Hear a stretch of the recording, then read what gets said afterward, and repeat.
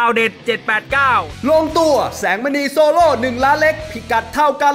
136 ปอนด์สิทธิเดชบิดาของแสงมณีล่าสุดเคลียร์กับทางเซียนหนุ่มท็อปคิงเป็นที่เรียบร้อย พร้อมยืนยันว่าแสงมณีแสงมณีมวยไทยยิม จะมาขึ้นสังเวียนดวลกับทาง 1 ล้านเล็กจิตรเมืองนนท์อย่างแน่นอน ในศึกจิตรเมืองนนท์วันพฤหัสที่ 8 พฤศจิกายนนี้ ส่วนพิกัดการชก 136 ปอนด์เท่ากัน ไม่มีการต่อน้ำหนักให้กันอย่างเด็ดขาด รุ่งกิจสู้เต็มที่ ชีวิตนี้ไม่เคยโดนน็อกรุ่งกิจหมอเบสกมลาอัปเดตสภาพร่างกายดีวันดีคืนพร้อมชนรถถังจิตรเมืองนนท์ในการชิงแชมป์130ปอนด์เวทีราชดำเนิน ในศึกเพชรยินดี 25 ตุลาคมนี้ ไฟต์นี้รุ่งกิจมุ่งมั่นเต็มร้อยเพราะชัยชนะและแชมป์ครั้งนี้คือความฝันของทีมงานและตนเอง ที่จะคว้าแชมป์เวทีมาตรฐาน มาไว้เพื่อเป็นเกียรติยศในการเป็นนักมวย เมื่อโอกาสมาถึงผมก็พร้อมสู้สุดชีวิต ไฟต์นี้สู้ตายถวายหัว สิงห์พลันชัย comeback คืนสังเวียนเจ็ดสีดวลเดือดวายุน้อย สิงห์พลันชัยอดีตนักชกเสื้อสามารถเจ็ดสี เตรียมกับคืนสังเวียนมวยไทยเจ็ดสีครั้งหลังหายหน้าหายตาไปรับใช้ชาติ